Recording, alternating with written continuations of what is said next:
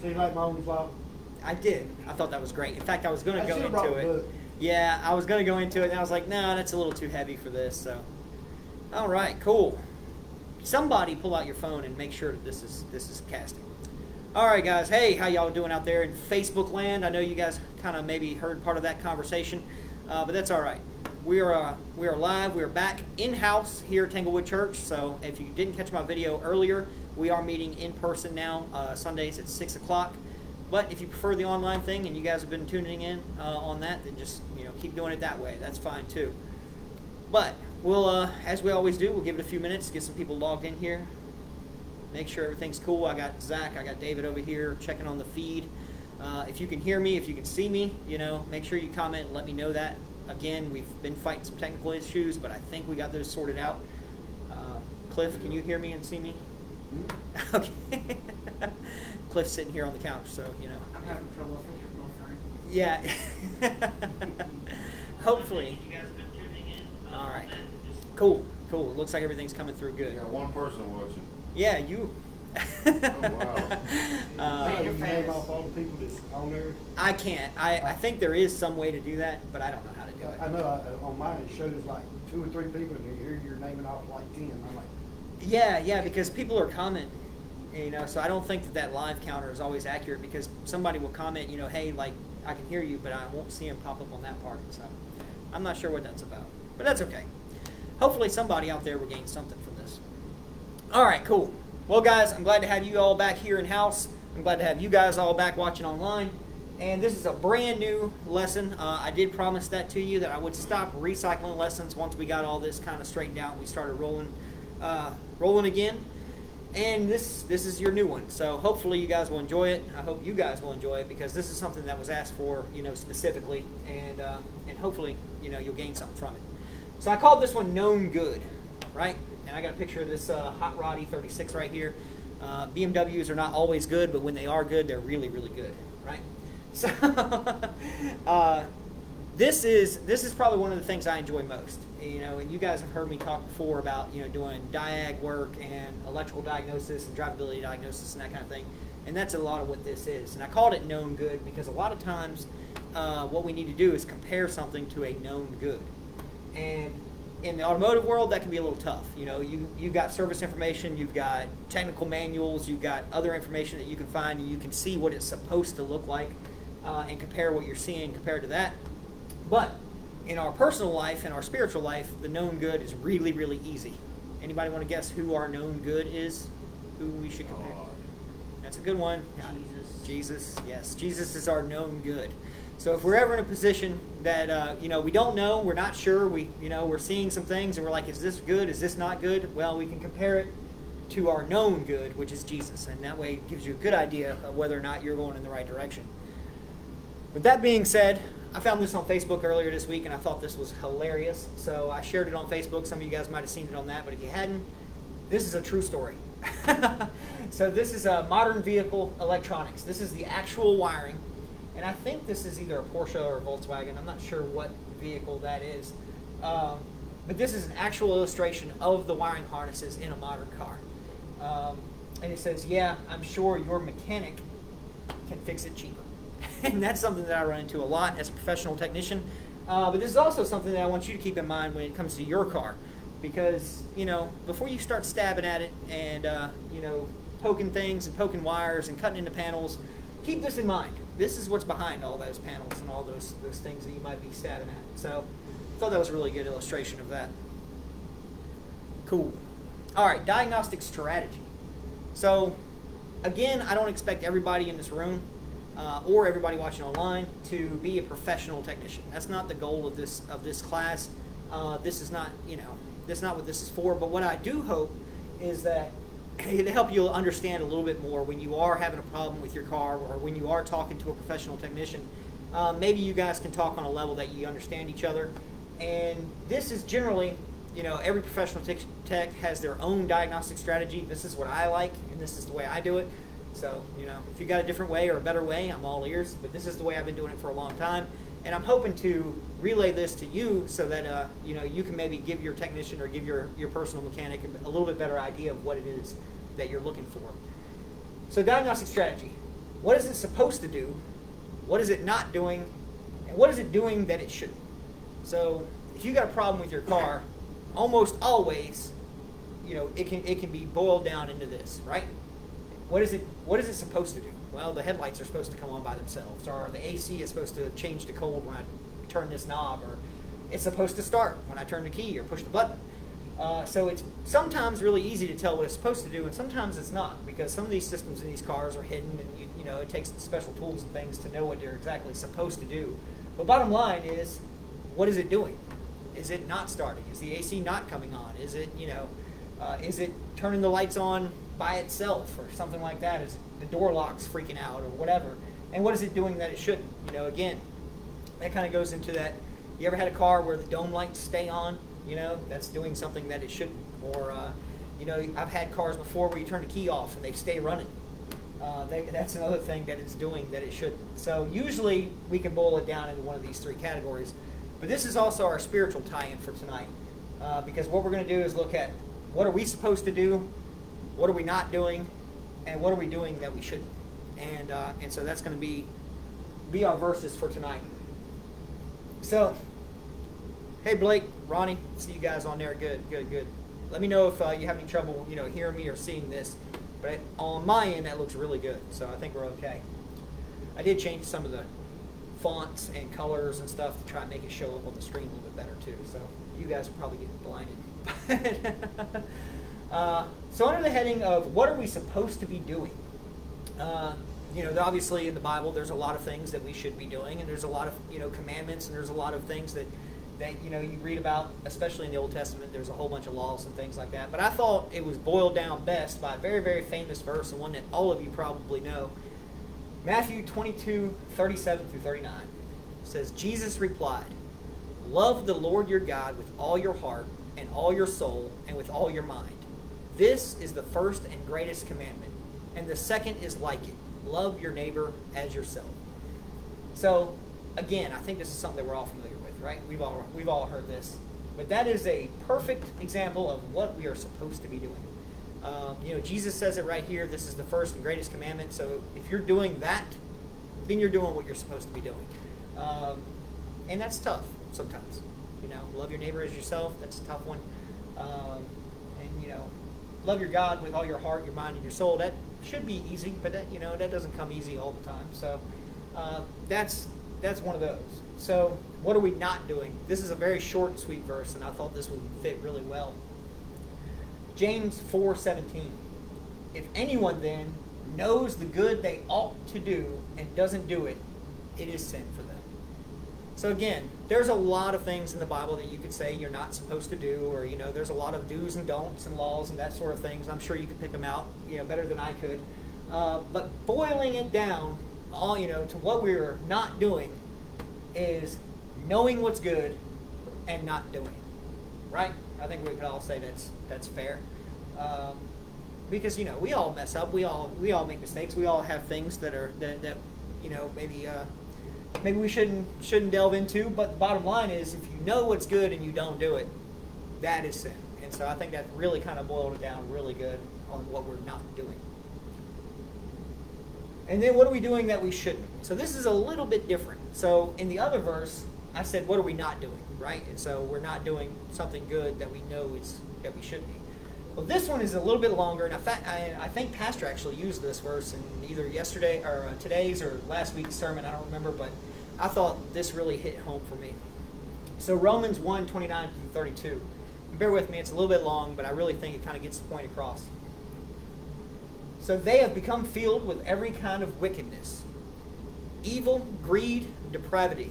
They are full of envy, murder, strife, deceit, malice. They are gossips, slanderers, God haters, insolent, arrogant, and boastful. That could be me most of the time. Insolent, arrogant, and boastful. Uh, I'm working on it. They invent ways of doing evil. They disobey their parents. they have no understanding, no fidelity, no love, no mercy. Although they know God's righteousness decree that those who do such things deserve death, they do not only continue to do these things, but also approve of those who practice them. So I put this under the heading, what are we doing that we shouldn't? all of these things. And at one point or another, we're probably guilty of one or more or all of everything that was just listed in there deceit, malice, arrogant, boastful, not obeying your parents, uh, no love, no mercy, knowing that you deserve death, but, but continuing to do it anyway. And not only that, but approving of you know other people that do. So that's one of those things that we are doing that we should. So that's why I put that under that heading. So I thought that was. Does that make sense to you guys? You following me? You good? All right. You guys out there, y'all following me? If I see you next week, I'll know why. That's all right though, Zach, because he not only continues to do these things, but he proves of those who practice them. So you know, he's he's down there with you. uh, so Jesus, our known good. So like I talked about in the beginning, you know, we usually like to compare things to a known good. You know, a signal, a voltage, uh, you know, some sort of data. We usually compare it to a known good. Well, Jesus is our known good. That's our example. That's what we need to be compared to, right? So there's a lot of examples in the Bible of you know how good Jesus is and the sovereignty of Jesus, and, and you know you can find those all throughout the New Testament. Uh, but this one I thought was really good because I just felt like it, it really kind of hit my example um, analogy on the head. So 1 Peter 2, 21 through 23. To this you were called because Christ suffered for you, leaving you an example that you should follow in his steps. He committed no sin, and no deceit was found in his mouth. When they hurled their insults at him, he did not retaliate. When he suffered, he made no threats. Instead, he entrusted himself to him who judges justly. So again, that kind of, you know, really fit my analogy really well about Jesus being an example and why he was an example. Because it says right here, he committed no sin, no deceit was found in him, and when things went completely sideways, when they were hurling insults, they were beating him, they were torturing him, they, you know, they ultimately hung him on a cross. He didn't make any threats. He didn't say I was coming back to get you or anything like that. He just said he trusted himself to him, to God, who judges justly. So he knew, you know, that that it was God's place to judge those people that were insulting him. I thought that was really good because this is Jesus we're talking about here. I mean, he could have done any number of things uh, in that moment, but he didn't. And so I think that's why he should be our example. He should be our known good. So keep that in mind. If you're ever a little bit unsure, if you're not 100% positive what you're doing is maybe the right thing, uh, you know, the old bracelets people used to wear, you know, the What Would Jesus Do bracelets. Uh, that really, really does kind of kind of play in here. So, all right, that being said, we'll get into our more technical side tonight. History lesson.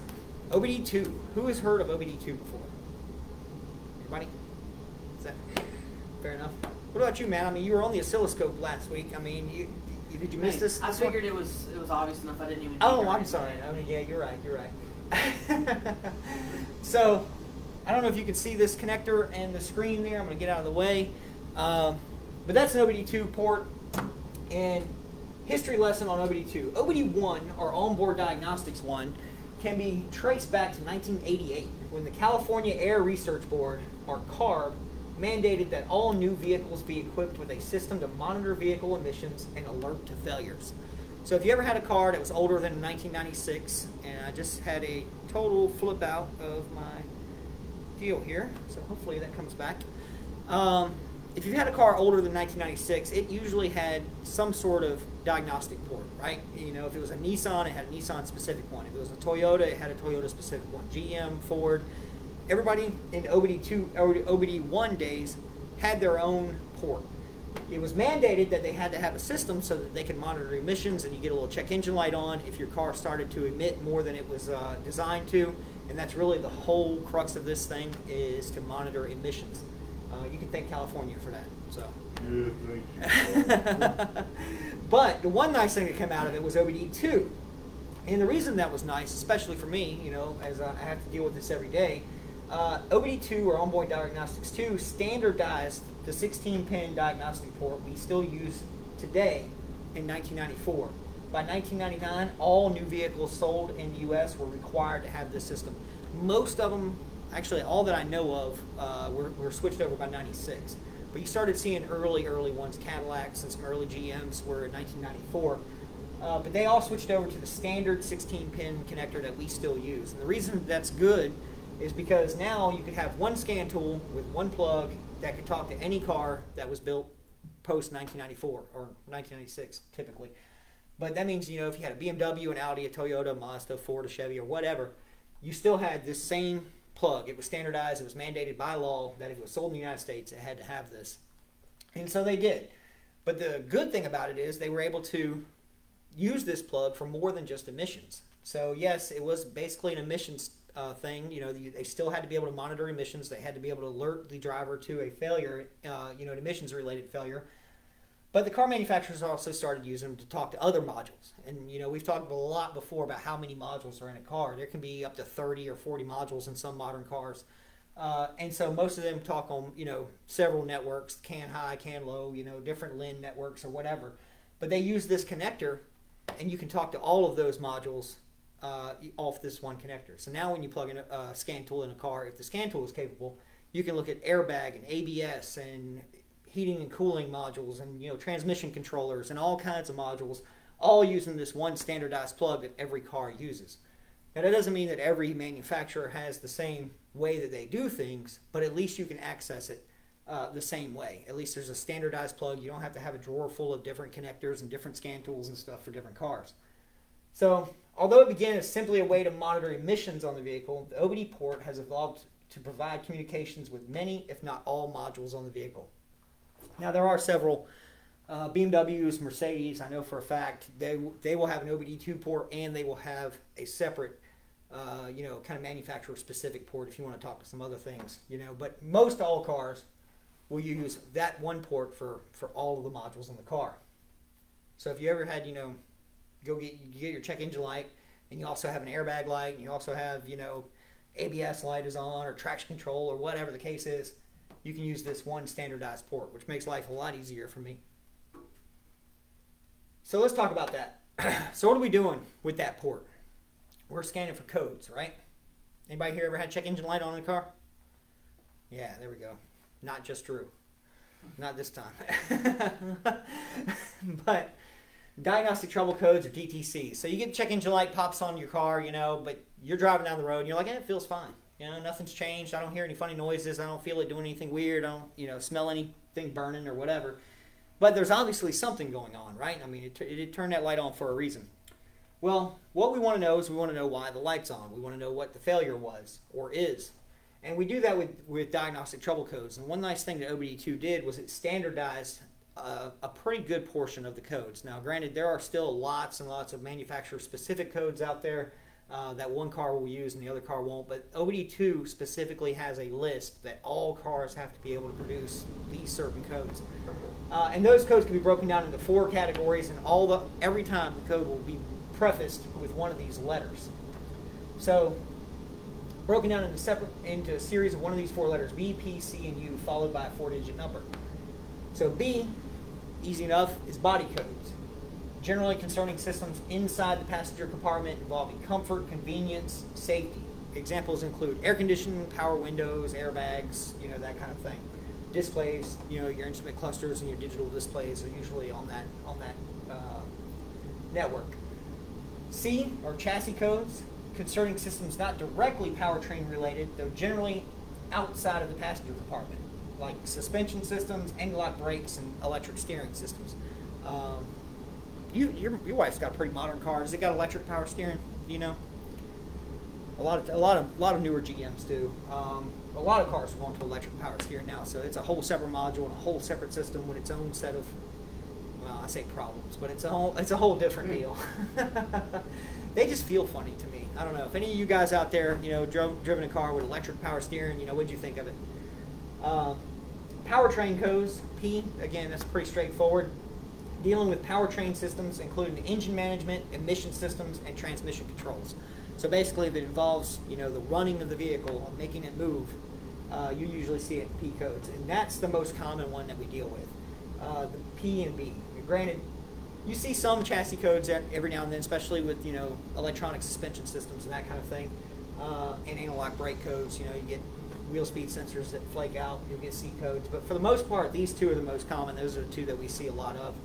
And then U codes are less common, but uh, again, if you're doing it professionally, if you're doing this all the time, you probably see a lot of these. to the average user, they're probably not reading them.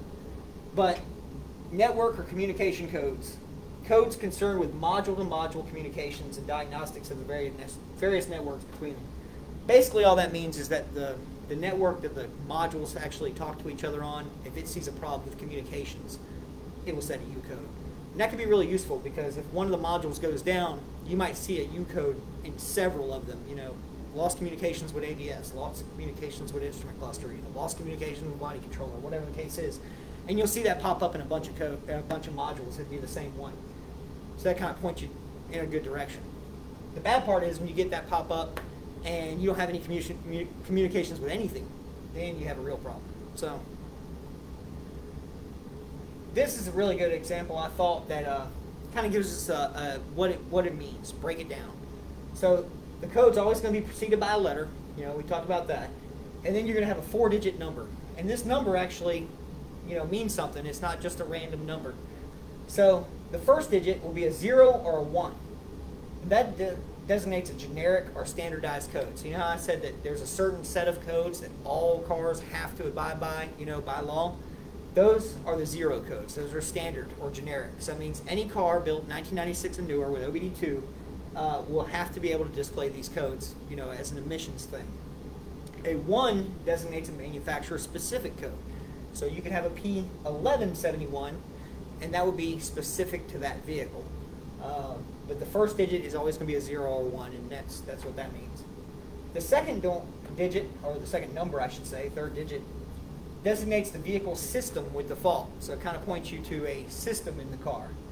Zero is fuel and air metering emissions. So, you know, like uh, catalyst, you know, O2 sensors, that kind of thing, anything emissions related that's uh, part of the fuel and air system, uh, mass air meters, that kind of thing. One, uh, one right here is fuel and air metering. So basically, you know, what controls how much fuel is being injected based on how much air is entering the engine. Two is an injector circuit. Three is an ignition system, misfires. So if you see coil failures, you see spark plugs, you know, causing a misfire, that kind of thing, it'll be a PO3 something. Um, four is auxiliary emissions. You see that a lot with EVAP systems. So like uh, you leave your gas cap off or, you know, something like that, you get a PO4, you know, PO440, PO420, whatever the case is. That's usually an auxiliary emissions. So that's emissions that are outside of the engine itself. Uh, five is speed control and idle systems, so you see that a lot with you know like uh, throttle body problems and things like that. Six is computer and output circuits, so if you have like a PO606 or whatever, that's usually internal computer fault. And seven is transmission systems, so PO7 whatever would generally mean there's something wrong with the transmission. PO700, PO707, something like that. And then the last two digits, the fourth and fifth, are the exact failure being reported. It could be any number from 00 to 99, and this is what gives us the specific area or component to investigate. So these, I don't know exactly where they get the 71 from. You know, PO171 is always a lean code. Every car, 1996 and newer, PO171 is going to be a lean code. Um, again, that kind of falls into that standardization we were talking about earlier. Why it's 71, I don't know. I'm sure somebody out there probably does. But the three that we need to be concerned with are these three. So that'll give us, you know, what area of the car, powertrain, uh, chassis, body. Is it a standardized code or is it vehicle specific? What section of the car are we talking about here? Fuel and air, ignition, auxiliary emissions, speed control, that kind of thing. And then the actual specific code right there will be the one that actually uh, kind of tells us exactly what's going on. Now I want to stop right here because who here has ever taken your car to like a AutoZone or an O'Reilly or anything like that and they offer free code scanning? Yeah. That is the bane of my existence. and and the reason I say that is because you see how complex this is. And PO 171, yes, it will read as lean bank 1. Well, why? Why is it lean? And that's the part that they can't tell you. They can tell you that your car has a PO 171 in it, but what they can't tell you is why. And the, what really irks me is that sometimes they'll try. Uh, you know, PO 171, you need to buy a mass air meter, or you need to buy an oxygen sensor, or you need to buy a throttle body, or whatever the case is. And without doing any real diagnostic work, uh, which we're going to get into in just a minute, uh, using actual data, comparing to known goods, you know, that kind of thing, uh, you have no way of knowing that because all the car is telling you is that there is excess of oxygen at the O2 sensor. Could it be a failed O2? Absolutely. Could it be a mass air meter? Sure. Could be low fuel pressure. It could be a vacuum leak. It could be, you know, somebody left the lid off the air cleaner, you know, when last time you had the oil change, whatever the case is. So I don't like that they try to sell parts based on this. And that, you know, and then a lot of times I'll get customers in the shop that say, hey, I had it read at a parts store. This is what they sold me. I changed it and it didn't help anything. Well, now they got to pay me to diag it and they're out money that they didn't have to be. Um, so yeah, that's that's one pitfall to kind of keep in mind. This is just another example. I, I included this in the handout materials. I made that last chart and then found this one. So, uh, so this this kind of exactly what was on the last chart that we were just talking about with the uh, secondary air injection, fuel system, ignition, so on, uh, standardized code versus manufacturer specific. I just thought this was kind of a really cool way to see it, and uh, I thought it would show up good on screen, so I just included it in there. But if you download the handout materials, that will be in there. So let's talk about some common OBD2 codes. So many, many of you folks out there, if you guys can hear me, comment if any of these have you know have you seen them or if you've had them read before. If you, this is something you run into. These are the most common ones out there, and I'm not going to talk about every one of them, but I do want to touch on a handful. Um, so the, the most common one, these are ranked in, by percentage of occurrence. So you see that, you know, 13% of the time it's PO420, all the way down to, you know, 2% of the time it's a NOx sensor.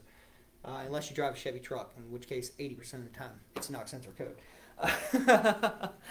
um, but what's interesting about this is that this is a really good example of where you could buy parts or be sold services that you didn't necessarily need or may not correct your problem. So PO420, catalyst system low efficiency, that one is a really common one. And all that says is that the CAT is not working as well as it was designed. Most all catalytic converters nowadays have a O2 sensor pre and post CAT, and they can actually measure the difference and know how well that CAT is working. But there's a lot of things that could affect that. A vacuum leak could affect it. A failed sensor could affect it. The cat could actually be dead. Uh, you could have it running extremely rich, extremely lean. You know, there could be any, any number of things that could set that code. So all it's telling us is that it's not as efficient as it was designed. But it's not pointing to any certain hard part. Um, another really good one, this is if you've got a Ford. If you've got a Ford, chances are you've seen a PO401 uh, especially an earlier Ford, like a 2000s and you know mid 2000s Ranger, Taurus, or whatever. EGR recirculation flow insufficient.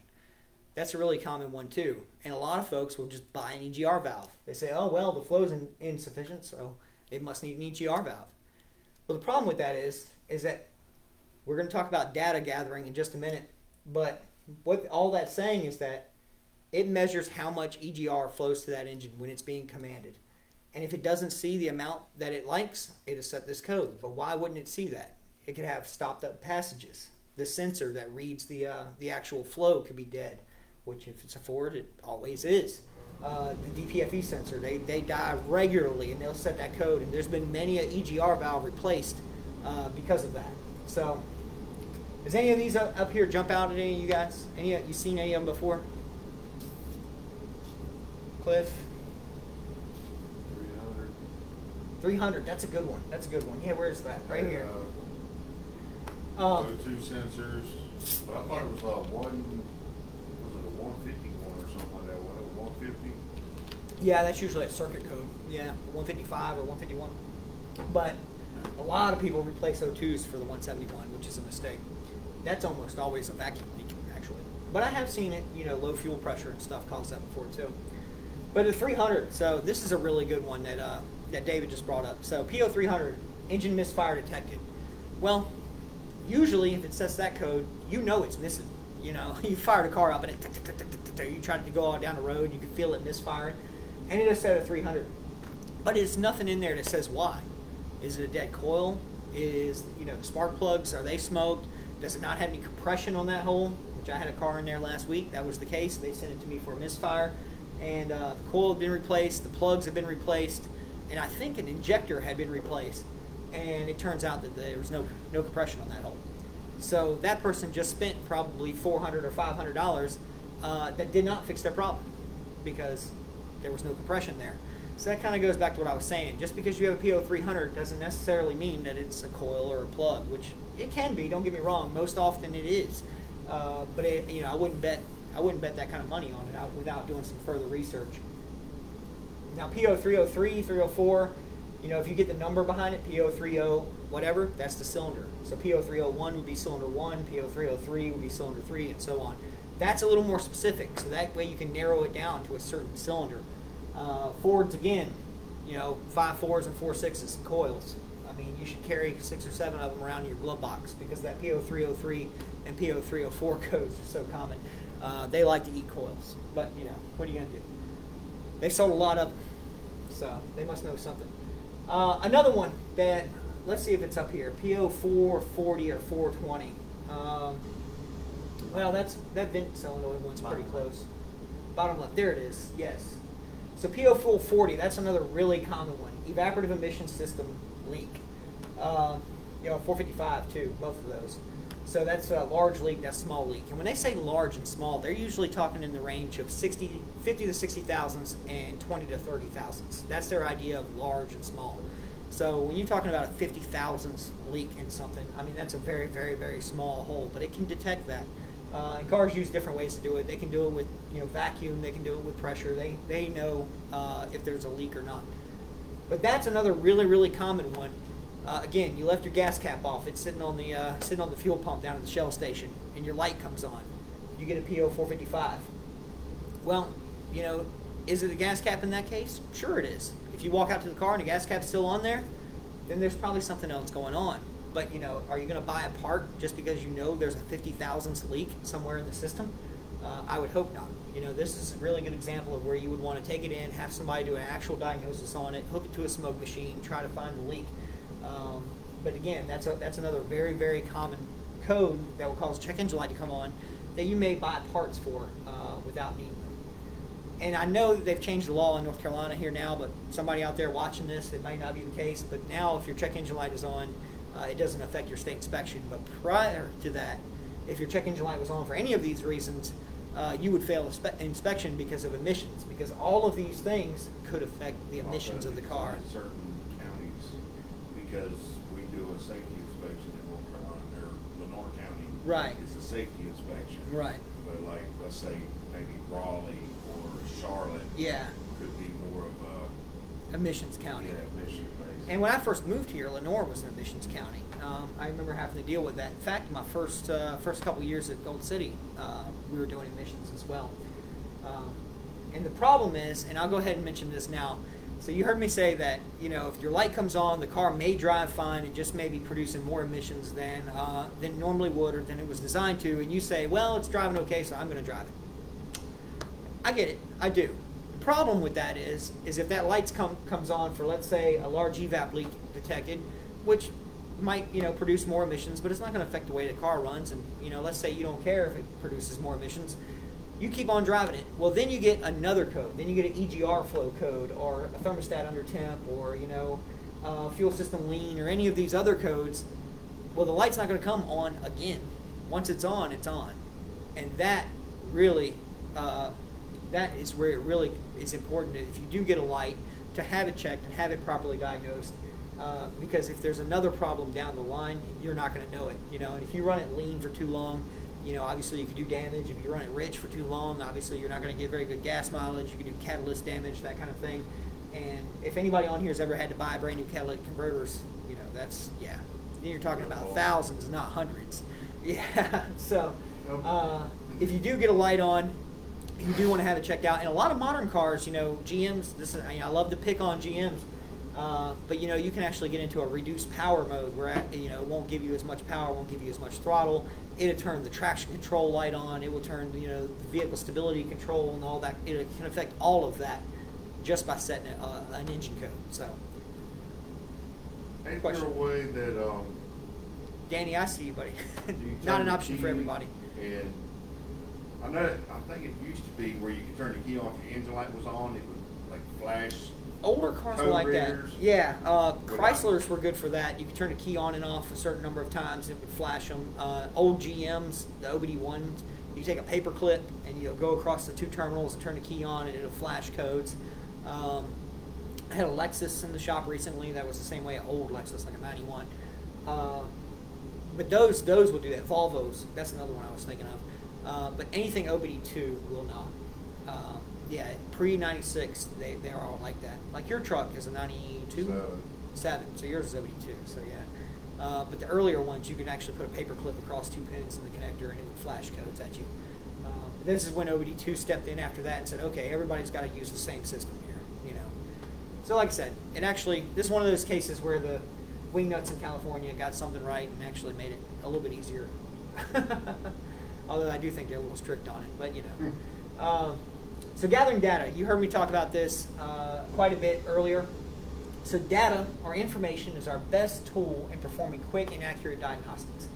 Every scanning tool manufacturer generally has a different look and feel to their software, but in most cases the information will be the same. It pays to understand how your tool can display and organize data so that you can group information you need and compare it. I put that in there because you know you could buy a $70 code reader, you know, down at O'Reilly or whatever, and it'll give you the code PO171 or PO440 or whatever the case is. A lot of those will have even limited data. But for the most part, you're not going to have very much data that you can look at. Well, with you know professional level, technician level scan tools, uh, what we're looking for is we're actually looking for live data. A tool that gives me a code only helps a little bit, but a tool that gives me data, uh, we can work with that. And the reason I say understand how your tool displays, I use two different versions here. So this is the Autel MaxiSys. This is what I typically use. Um, you know, at the shop, this is a Snap-on Modis. That's really, really common. A lot of folks out there probably have the Modis or the Solus. Uh, that's a very, very common scan tool. These two tools can show me the same information in most cases. Although I have had some discrepancies, but for most part, they'll show the same ones, but they do it two very different ways. Uh, the Modis will usually list it left and right, and you'll have to choose what you want to graph and what you don't want to graph, and you can kind of sort the PIDs out that way. The Autel, you got these little blue checks all the way down the side, and you can check the ones you want and uncheck the ones you don't. You can actually group them together like they've done in this example. Uh, they group the O21, O22, and the air fuel ratio all together, so you can actually see. You can see that one switching, you can see that one not switching, and you can see the air fuel ratio. So this is a really good example of two tools that will show you the same information but do it very different ways. So just get comfortable with whichever one you are using. But again, most guys out there, most of you guys in this room, uh, are not Eight, professional. are not professional technicians, but it still pays to understand, you know, what they're looking at. So if I, the tech, come to you and I say, you know, hey Cliff, uh, I see that you don't have any switching on, you know, your front O2 sensor. Uh, you know, I think it might be dead. This is what it's going to cost to fix it. Well, that may not make sense to you. You might, what do you mean you don't see it switching? You know, what are you, what are you talking about? Well, this is, you know, this is what we're talking about. This is actually looking at the data, monitoring the signals, uh, be it a voltage, be it a square wave, be it whatever kind of signal that sensor produces, uh, and being able to relay that and say, hey, this is this is what's going on. Now, that being said, let's say for instance you did have a O2 that wasn't switching. Does that mean that it's dead? No. You know, it could not be switching because it actually is running lean. Maybe that bank has a misfire. Maybe uh, maybe there's a wire rubbed through on the drive shaft. Maybe the heater fuse is blown for that O2, or maybe there's an exhaust leak, or you know, there's any number of things that would cause that O2 to not switch. So this is where data comes in really handy because now you can take and compare it to the other data that you want to see and see if there's any uh, any reason that this thing might be acting the way that it is. So that's one of those examples where you wouldn't want to just get the code read and say, oh, it's an O2 code, put an O2 in it. Because uh, some of these modern ones, especially you know newer cars, they use wideband O2s uh, or air fuel ratio sensors or lambda sensors, however how you want to word it, uh, and they can be very very expensive. I mean, you can be talking a couple of hundred dollars per sensor, and the car had four or five or even six of them. Um, so yeah, you can you can spend a lot of money uh, chasing your tail doing that. So speaking of sensors, good segue. so the sensor is the input in the car, right? If we're talking about inputs and outputs. So most automotive sensors can be broken down into two-wire or three-wire types. The two-wire type sensors are usually resistive, meaning they change their resistance when something acts upon them, such as temperature. That's the most common kind of two-wire sensor that you're going to see is air temperature or cooling temperature. And this is a really simple schematic of what we're talking about here. So we've got a wire coming from the computer to the sensor. You can see this is a variable resistor. If you were in uh, last week's class, you remember this from our schematics, uh, schematics lesson. And then we have a sensor ground.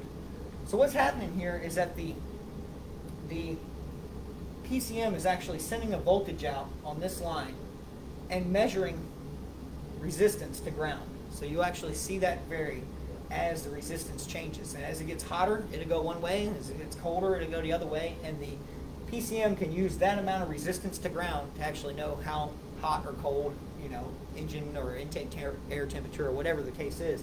But that's a simple explanation of a two-wire sensor. And that's, you know, you see that a lot on temperature stuff, but it's becoming less and less common than the three-wire type, which is really blurry, but that's okay. So three-wire sensors consist of a reference voltage provided from the module, usually 5 volts, but it can be more, uh, and a low reference or sensor ground, along with a signal wire. These sensors can produce varying voltage or signals, such as square waves, back to the module. So it works very similarly that you know than the other one. So this is our throttle position sensor here. You see we've got ground, we've got PCM ground. Actually, you know, it's grounding inside of the, the computer. And then you've got a, a reference voltage, which is blurry, you can't tell. And there's our, our symbol again. If you remember from last week, there's our resistor symbol. So as you move the throttle, it changes the resistance of this wire to ground. Well, what you're reading is a voltage divider. So if that's five volts and you go to the middle of it, that's two and a half back there. And if you're all the way on this side, that's one volt. And if you're back this way, you've got very little resistor, that'd be more like 4.5 or 4.9. So as you go from, you know, five volts or one volt all the way to one volt or five volts, depending on which way it's wired, uh, it, that signal back to the PCM is actually what it's using as an input. The reason I say all this is because cars can't think. And we often say that, right? We often say the car decides, or the car, you know, is telling you this, or whatever the case, but they can't think. All they do is act upon inputs, and then they act, they, they produce an output. So that's why it's really important that these things are accurate, that you and you have an accurate way of measuring them or reading them, because if you've got false information going in, the computer may be doing everything right. You know, if that thing's stuck on four volts, you know, when it's closed throttle, well, the computer doesn't know it's closed throttle. It just sees that four volts, so it's adding fuel or adding timing or whatever it's going to do under under those conditions. So the computer may be doing everything right, but the inputs, the information that it's receiving, uh, could be false. And so that's why it's really important to be able to use that data, like we talked about earlier, and compare it to a known good, uh, or you know, use service information to find a known good, to actually find the description operation of the way that works. And here's a good example of outputs. So you've got all this information coming in, right? And this is a really cool illustration, I thought. Zach, I don't know if you can see that. Um, but you know, we've got a whole bunch of inputs on this side. We got engine speed, we got engine temperature, mass airflow, oxygen sensor, NOx sensor, oil pressure, fuel pressure. Uh, all of these inputs going into the computer, and it doesn't have to be just the engine computer. Any module in a car. You heard me say earlier that most modern cars have between 25 and 35 modules. Uh, and they are all using various sensors. You know, suspension is using speed and it's using ride height. Uh, it's using you know throttle input. You know, airbags are using how how heavy is the person in the passenger seat. Uh, you know, it's using all kinds of things. Uh, Zach's a really good example. You know, of using uh, radar and you know the ADAS systems, the collision avoidance and lane departure and that sort of thing. It's using all kinds of sensors but any module in the car is working the same way. It's taking a bunch of data in from various inputs, and it's producing an output of some kind. You know, some kind. Sometimes that output is not used. You know, like an airbag. You know, if you don't hit anything, doesn't produce any output. It doesn't blow the airbag out. But it's taking all that information in anyway. In the case that it sees something that says, "Hey, we got to trigger the airbag." So every module in the vehicle is there to monitor inputs from various sensors and switches and use that data, there's that word again, that information, to provide some output to a solenoid, actuator, relay, or some other device. Automotive output devices range greatly from rapidly pulsing fuel injectors to high current loads such as cooling fans or fuel pumps. The automotive module has the capability of directly providing a path to ground, such as in a lighting control module, or it can power high current devices through a relay or separate module, such as in the case of a blower motor speed controller. I included that in there. It's a little wordy, I understand. Sorry for you guys out there. Uh, but what I wanted to show was that depending on the way it's wired, it can actually run everything from a very, very small LED, like in your sun visor light, to a very, very high current device like a blower motor or a cooling fan motor. You can run all of that, you know, out of these ECMs. Generally not directly, but it has the capability of doing that. So th- this is one has a pretty good example of some outputs: fuel injector, uh, EGR valve, idle speed actuator, uh, ignition coil, you know, that kind of thing. I hope that makes sense about the input and output thing. Does that make sense? Yes, it made sense to me. So.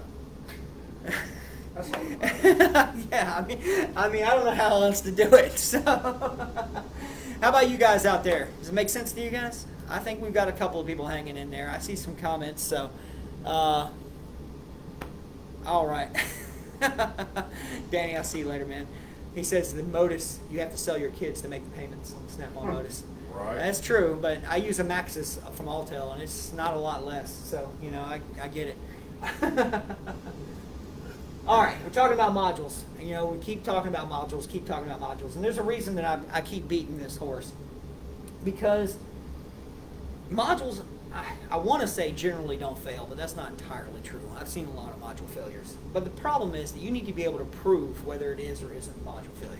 So in a case like we've got crash sensors, we got a body control module, we've got an IPDM, looks like from a Nissan. Uh, got an engine control module here, power steering, uh, transmission. We got a steering column module. We got all kind of ABS, I believe that is, or maybe that's power steering. I'm not sure. But either way, we've got all kinds of modules. And when you have a failure, when you've got a fault on a car, it's really common and really, you know, easy to say, "Oh, well, that module's failed," and put one in it.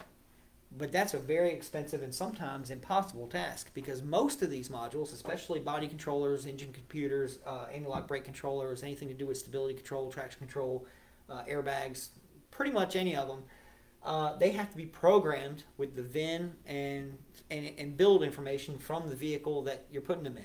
And so that's not something that just the backyard guy can do. It's not something you're going to do in your driveway. You're not going to put a BCM in a Chevy truck and expect it to start although it's very very easy to get to and it's very very easy to unplug the old one and plug the new one in it's not going to work because there's no software in it for that particular truck that you're plugging it into.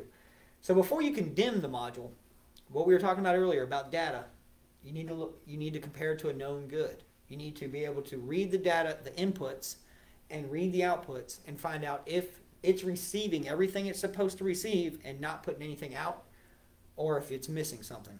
And so it's really important to make sure that you uh, that you do your, your due diligence there and actually make sure whether or not that module has failed. Because believe me, I've seen a lot of folks replace modules for you know a chewed through wire or something burned on the exhaust or something like that. That's a cool picture. I think you guys saw it last week, or I think the guys that were here in person saw it last week. You guys online didn't see it. Uh, again, I keep talking about modules. I keep talking about communications and that sort of thing. This is a good example of all the modules on a car. And I don't know if you can see that online, but that is a lot of them. Can you guys see that pretty good? so that's probably 30 or more modules right there. Everything body controller, tire pressure sensors, uh, ABS, front crash sensors, uh, pa- pedestrian protection unit. So this must be some kind of Mercedes or Volvo. Uh, power windows, left door, right door, navigation, car audio, uh, lights, wipers, all kinds of stuff. So everything is computer controlled. So I just thought that was a really cool example of that. That's another version of that. That's a schematic. counting to see how many. I've gone away from that. I heard that. Well, yeah, there's less on this one. So we got 1, 2, 3, 4, 5, 6, 7, 8, 9, 10, 11, 12, 13, 14, 15, 16. So there's 16 on this one. So that's that's a pretty basic car. That's like a car from the mid 2000s. but even in that car, you see we've got uh, air conditioner, uh, drivers, passengers' doors, parking, uh, ABS, transmission, engine computer, airbags, GPS, radio phone, uh, VFCM, stability control. So again, that's a really good example of how you can have a lot, a lot, a lot of modules on one thing. And the way that those modules talk to each other is the CAN line or controller area network. uh, so what we like to see on this, this is uh, this is the CAN bus. So I'm not going to go into a whole bunch of detail on this, but this is the right lesson for it. Uh, module to module communication. So you remember earlier in the P codes and the in the C codes and the B codes, there was a U. That was a communications fault. So let's say that you've got a module that everything is coming in. All the inputs are there. Uh, it's got power. It's got ground. It's got all its sensors, all of that. But whatever that controls isn't working. The power steering isn't working, or the air conditioning doesn't come on, or whatever whatever the failure is, the thing that it's supposed to do that it's not doing. Um, a lot of times there can be a communications failure, and this is an oscillos- uh, oscilloscope capture. Uh, I use the Autel MaxiSys uh, Maxiscope, but this is uh, this is from something different. I'm not sure what this one's from. It might be from a Picoscope or something. But the idea is the same. What we're seeing here is voltage, and this is extremely extremely fast. And that's why you need an oscilloscope to catch it, because usually these things are set in the microsecond range, you know, below millisecond. Uh, or you might set it for one millisecond per division. That's usually where I set it, or maybe even below that, maybe even uh, 500 microseconds per division. So you see that voltage changes that fast. It's changing that many times in a millisecond. And so this is happening extremely fast on the communications network. And this is very similar to what you see in like, you know, network communications and things too. But bottom line is these computers are sending these packets of voltage. It's spiking. Each one of these is a packet. And each computer knows how to decode that into the information that it wants. Well, the problem is that if you see one of these is flat, or you see it ramp up, or you see anything really funny on this communications line, then obviously you need to start chasing down which module is causing the failure, or is it rubbed on something? Is laid on the exhaust?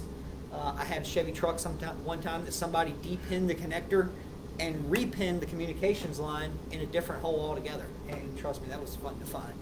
Um, but this is a known good, and this is you know the title of it. This is what I wanted to end on. Uh, this is a really good example of I don't need to be able to read this and say, oh well, that's the BCM talking to the ABS module, and they're talking about the speed of the vehicle right here. You know, I don't know that. I don't know what it is that these modules are trying to say to each other, uh, and I don't know exactly how many you know spikes we're supposed to see in a certain amount of time. That doesn't matter to me. What I want to know is is the signal clean? Do we have a perfectly mirrored signal, high and low? Are we seeing sharp edges? Uh, this is an example of a known good. So I can compare another one to this, and even though that this, they might be different, you know, uh, spaced apart, there might be more or less packets just depending on what's happening on the line at the time. Uh, that doesn't matter to me. What I want to see is a nice, clean signal. Uh, so that's why I included this. I know it's a little bit in the weeds for what we usually deal with here, but I did want to include it because it is an example where a known good is really important. Um, and I included this in the handout materials too. So if any of you guys do get out there and start playing with this, uh, yeah, you'll have a known good to check out. Question time.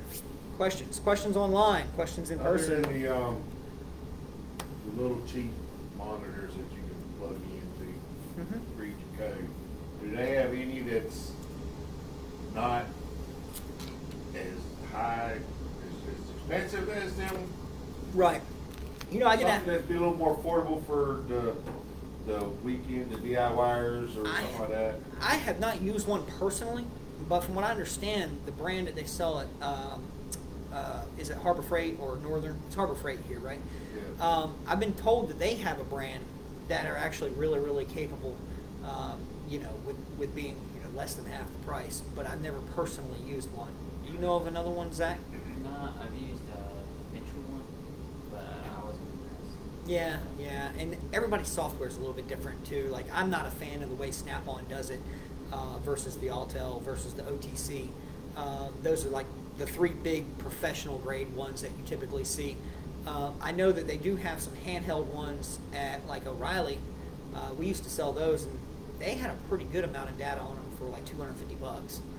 You know, I, I don't know that you have graphing capability and you know, you know that kind of thing, but for the amount of data you Well, can it's see. something like, cause you know, on some of them, they'll, like if it tells you the code, but then it'll come back and tell you, um, It might give you a direction. uh, yeah. Yeah. Point you in a direction, give, you know, list like a couple things to check, like, like I had one, one time, it was the, um, my, um, O2 sensor, Yeah.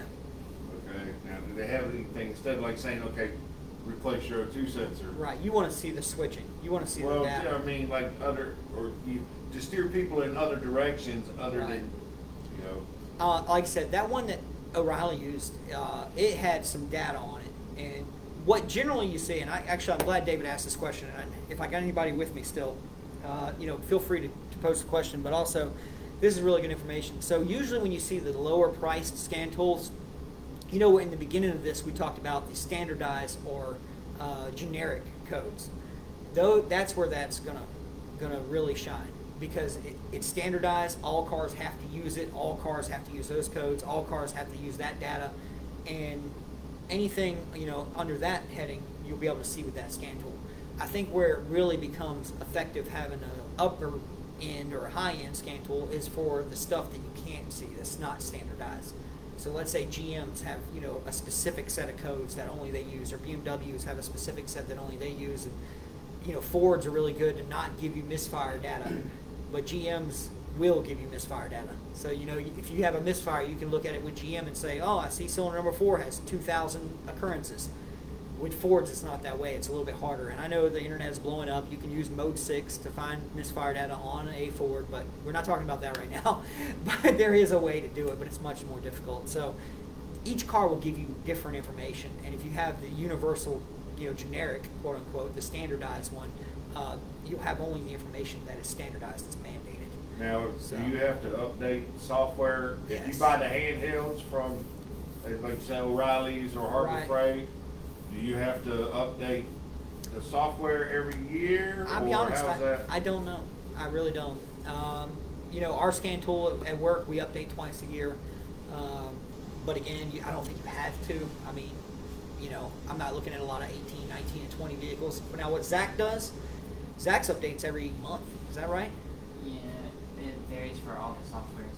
Yeah. I have to use the OE softwares. Right. Just on a laptop-based system. And for Um, those of you online that don't know what I'm talking about, my son Zach is a ADAS calibration technician for a body shop here in town, and uh, so he's dealing with you know 18, 19, and 20 model year cars uh, quite a bit, uh, whereas I'm not. Usually, what I see is is you know five years old and older. Uh, but yeah, he, he was just telling David that his uh, software updates sometimes every month, just depending on the brand. So, uh, but yeah, that's a good question. Honestly, I don't know. I would I would imagine that you probably would have to. With that, um, But- with that Mitchell box, it was, I think it was yearly or, um, every six months or whatever. And you just paid the year subscription and it just does it by itself, cause it was connected to the internet and all. Yeah, and like I said, there's deals to be had on old uh, high end stuff. You know, old Modises and, and Snap on Soluses and that kind of thing. I mean, you can find them on the internet, find them on eBay and things like that. So maybe they wouldn't be up to date for like the newest, the newest and greatest thing. But if you've got a car that's you know 10 or 12 years old or or whatever, then you could probably pick up a used one pretty cheap. And even if it wasn't updated, it would still be fine for what you're dealing with.